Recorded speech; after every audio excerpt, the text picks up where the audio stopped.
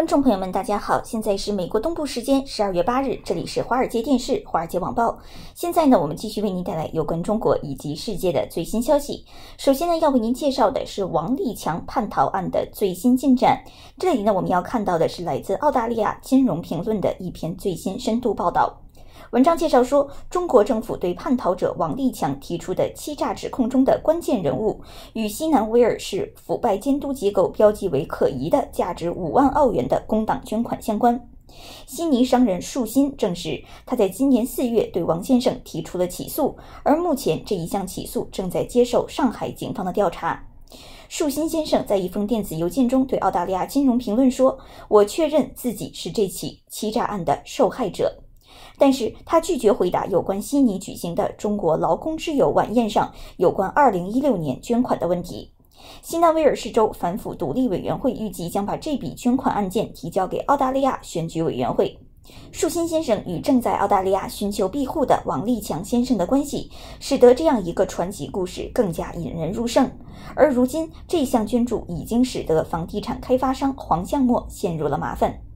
树新与王立强的欺诈案对于中国政府的努力至关重要。王立强先生声称，北京从香港和台湾到堪培拉从事广泛的间谍活动。树新先生还说，他在对王先生的妻子也提起欺诈指控，但是澳大利亚金融评论选择不透露其姓名。而对于树新先生来说，欺诈指控是他七年前在悉尼大学攻读硕士学位以来，本来就已经丰富多彩的生活中的最新篇章。现年三十岁的他，那个时候是澳大利亚华人工人协会的学生组织者。这样一个组织呢，由共产党的统一战线工作部监督。同时，他还是工党议员马特的办公室人员，并为莱德市的副市长西蒙州的黄金公司工作。而其中的一家公司因为未缴税款二百三十万而倒闭。而在十月，廉政公署透露，西南威尔士工党官员在二零一六年中国劳工之友晚宴上被捐赠了五万澳元，当时不知道捐助者是谁。而在八个月后，收到了有包括西蒙州先生还有树新先生在内的八位捐赠者的名单。树新先生现在针对王立强的一项欺诈诉讼，要求赔偿九十五点五万澳元。而王先生声称，为一位中国间谍老板工作后，现在正在澳大利亚寻求政治庇护。中国政府已经利用树新先生的欺诈案作为抹黑王立强先生的一种机制，对其涉嫌的间谍老板向新以及黄香墨之间的会议正在进行相关的第进一步调查。而黄香墨在澳大利亚已经被取消了永久居留权。该案以一项商业计划为中心，计划将利用树新先生的 BFJ 集团公司的产品，将在中国市场生产的德国豪华汽车作为向澳大利亚的进口产品，并且向香港市场转移。该计划要求融资人和在中国有联系的人来解决政府转售汽车方面的障碍。而根据叛逃者王立强先生说，树新先生说他有机会获得黄向墨的支持。黄准备对该计划投资两千万美元，而合作伙伴后来陷入困境，从来没有进行过这项投资。而为了证明他的财务资源与黄香墨的关系，树新先生于去年十月三十一日从其澳大利亚的银行向叛逃者王令强先生转发了一封电子邮件，内容是一笔不相关的转移款项。而该电子邮件使用了银行已经不再使用的电子邮件地址和格式，但是在当时发送时是最新的。他说，十月三十日，黄长然，也就是黄香墨的另外一个名字，已经向 BFJ Trading 账户中支付了六十万美元的银行支票。而树新先生于二零一八年六月成立的公司 BFJ Trading 的转让备注是树新贷款。树新先生已经向澳大利亚的《时代报》证实，叛逃者王立强先生使得自己与他的老板向新先生取得了联系。目前没有建议说，在与黄先生联系时，树新先生知道或者是参与过涉及黄先生的任何影响力行动。而王立强声称，黄先生随后与向新先生举行了几次会议。王立强表示，黄向墨遇到了问题，需要向新的帮助才能在其他国家开展业务。而为了回应王立强先生在十一月二十四日的间谍说法，中国大使馆发布了一份报告。二零一九年四月十九日，上海警方对王立强先生展开调查。据称，王先生通过假投资从一个姓树的人手中骗取了四百六十万元人民币，也就是九十五点五万元澳元，涉及汽车进口的项目。而在香港巴士底新闻网站上，首次披露了树新的全名，在澳大利亚的历史以及对传奇人人物事件的参与。这样的网站呢，是由《星岛日报》部分拥有的。报道还说，树新先生认为他正在与一名中国国家安全官员打交道，后者可能会帮助中国出口汽车。如果属实，这表明树新先生不仅相信王先生，而且相信他的老板向新先生是中国国家安全人员，或者是与安全部门有联系。而向先生的香港公司否认与王立强有任何联系。而黄香墨先生也发表了十三条推文，抨击有关王立强提出庇护申请的报道，并声称自己并不是所谓间谍活动的中心。我甚至不认识向新，黄先生发推文说，而王立强是个骗子。在确认与王立强的纠纷时，树新先生拒绝回答有关于澳大利亚金融评论的进一步问题。而上个月，他对《时代报》表示，他与黄先生没有财务关系。当他被问及他的两家公司在2016年中期向工党捐款超过18.5万美元时，而黄先生于去年十一月被取消了澳大利亚签证，现在是廉政公署的调查对象。据称，他于二零一五年向新南威尔士州工党非法捐赠了十万元。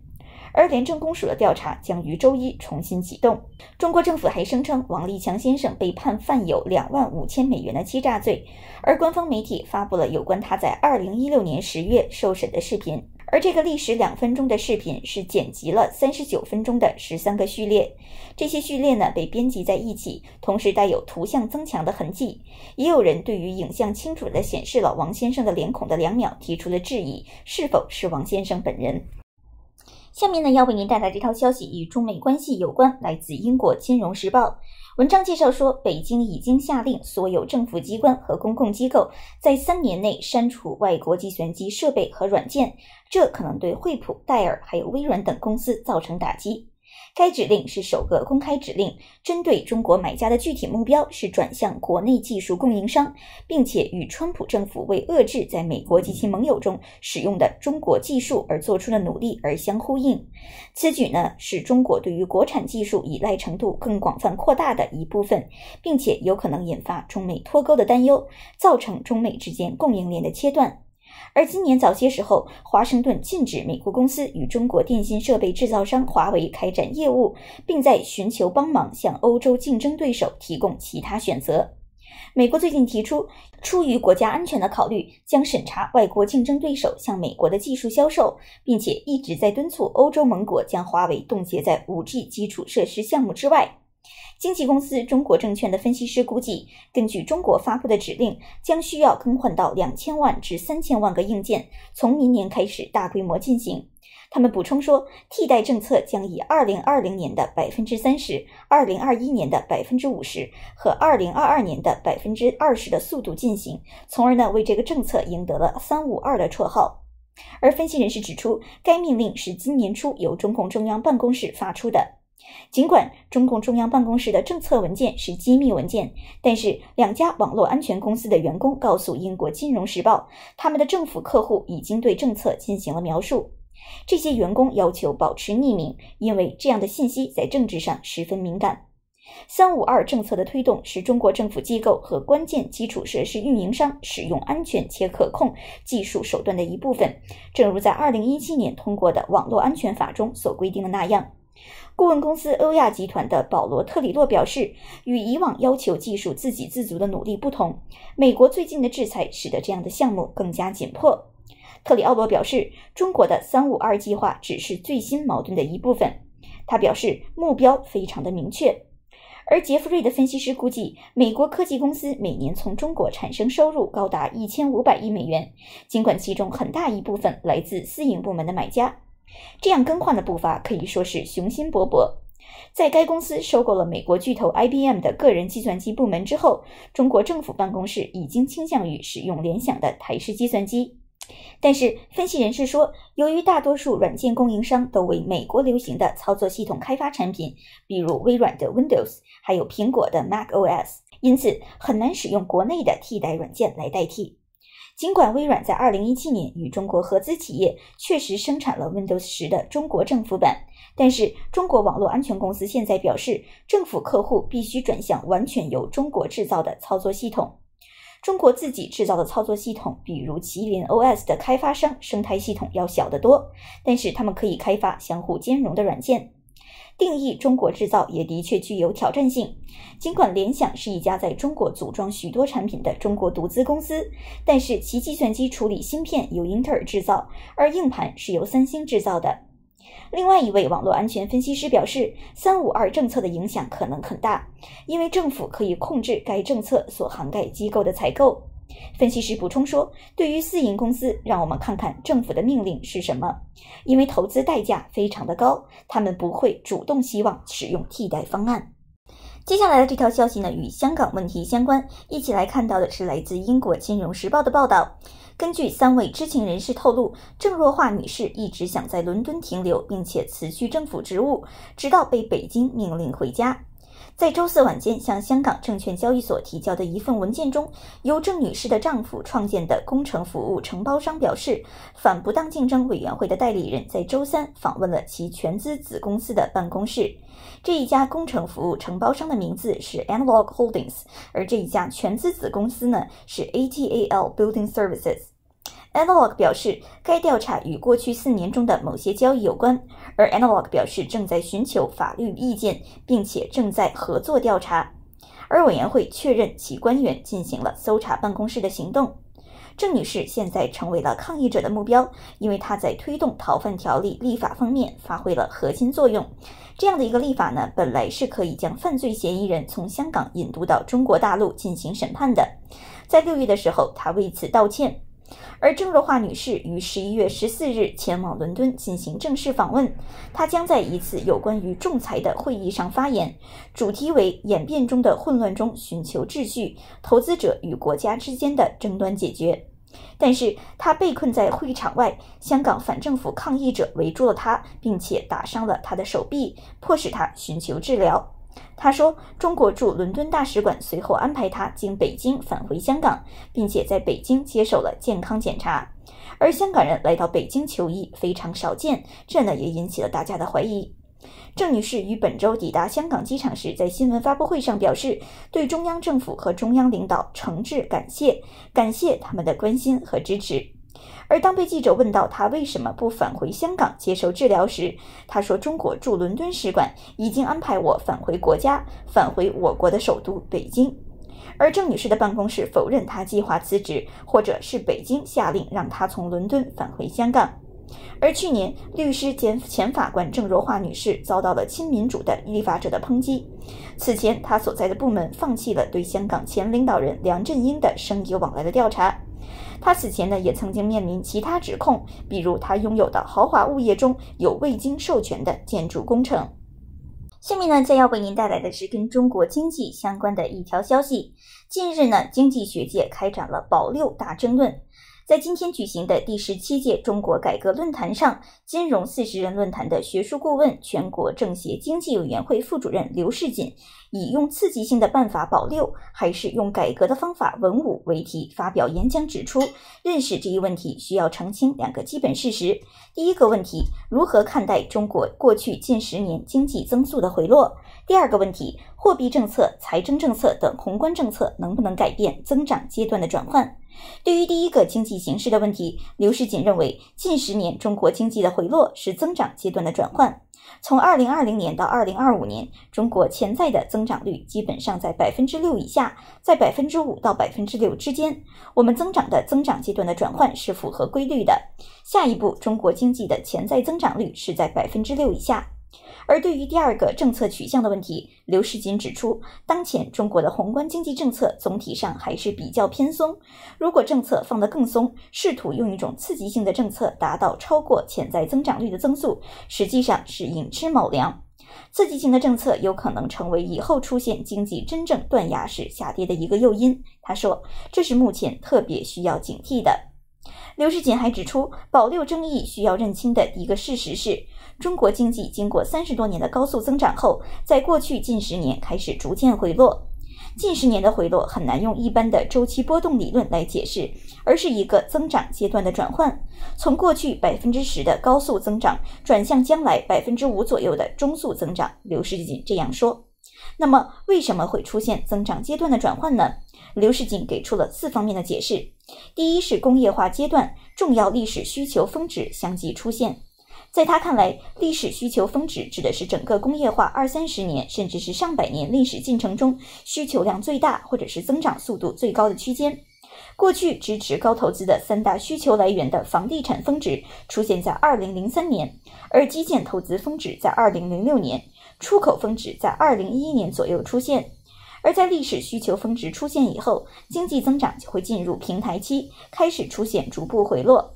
第二呢，是人口和劳动力结构的重要变化。从二零一二年开始，十五岁到五十九岁的劳动年龄人口每年至少减少二百万人，而最近几年减少的数据是四五百万人。而就业人口总量从二零一八年开始下降。第三呢，是可利用的技术减少。中国现在已经形成了全世界最为齐全的工业门类，而且已经在部分领域并跑和领跑。实际上，这也反映出我们可以利用的技术已经明显减少。第四呢，是资源环境可承受的能力达到了临界点。刘世锦表示，资源消耗、碳排放量已经接近历史峰值，环境容量大幅收缩，部分地区影响超过临界值。最为明显的就是雾霾天气的影响。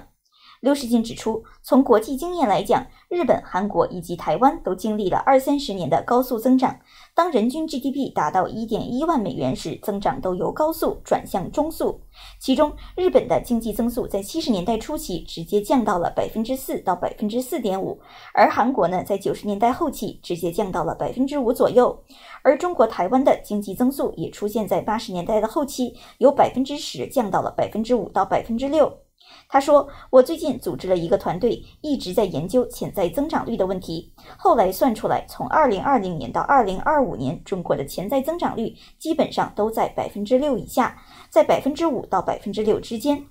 刘世锦认为，保六争议需要厘清的第二个问题就是货币政策、财政政策等宏观政策能不能改变增长阶段的转换。刘世锦提出的一个判断是，宏观经济政策不可能改变潜在的增长率。在他看来，只有当实际增长率低于潜在增长率时，放松宏观政策才有可能生效。而近期随着经济下行压力加大，呼吁货币政策放宽的呼声比较高。在刘世锦看来，近年来中国货币政策总体上是比较宽松的。前些年为了稳增长加杠杆，出现了杠杆率过快上升的情况。因此呢，到目前为止，中国并没有出现由于货币政策过紧影响经济增长的情况。此外呢，脱实向虚、货币政策传导不畅、民营以及中小企业融资难、融资贵等问题，属于结构性、体制性问题。作为总量政策的货币政策，很难影响改变这些问题。在中国目前的情况下，宏观政策并不紧，总体上还是比较偏松的。如果想继续把货币政策放松，放得更松，用一种刺激性的政策，试图达到超过潜在增长率的增速，实际上是引之保良。同时，他还指出，透支未来增长潜力，短期来看能把经济硬撑到比较高的水平，但是之后一定会大起大落，而且某些时候一定会出现断崖式的下跌。现在略低于百分之六的增速，可以显现两个纷纷建成小康社会的目标，但是根据宏观模型的分析，明年一季度后经济很有可能再进入下行通道，所以明年稳增长的压力和挑战将大于今年。百分之五到百分之六的经济增速符合中国现在的潜在增长率，而且要保持一个百分之五以上的增长速度，其实不是容易的事情，难度也相当之大。一定要提出的是，中国的基数每年都在扩大，每年的新增量仍然是全世界最大的。像二零一八年，中国经济的新增量相当于一个澳大利亚，今后一两年、两三年的经济增量可能会相当于一个俄罗斯。中国经济的增量仍然是全世界最大的，提供了全世界百分之三十的需求。基建、房地产和出口这三大需求的来源的基本动能已经不足了。中国经济的增量不再能够依赖这三大需求来源，必须要激发与中速增长期相匹配的新的结构性潜力，否则百分之五的增速也不一定能够保得住。但是我们看到，由于存在体制机制上的束缚，不少新的结构性潜能看得见却抓不住。于是刘世锦建议，下一步，特别是从明年开始，重点要放到挖掘新的结构性潜能，还有改革政策调整上，应该着重做好六个事情。第一呢，是通过城乡要素流动，加快大都市圈的发展；第二是打破行政性的垄断，改进低效率的部门；第三呢，是促进产业内的优胜劣汰转型升级；第四是以创新带动高科技含量、高附加值的产业增长。第五是培育更适应中小微企业生长的制度环境，第六是传统工业化方式转向绿色发展。而刘世锦表示，上述六点都与改革相关，都能够激发新的结构性功能，但是也需要调动三的个积极性。第一呢是政府官员的积极性，其次是企业家的积极性，最后是科学家的积极性。刘世锦还特别强调，高质量发展还得摸着石头过河。这呢是必须应该强调的改革的基本方法论，要把机制问题解决好，各方面增长就都能够得到充分释放，推动中国经济有活力、有韧性、可持续的高质量发展。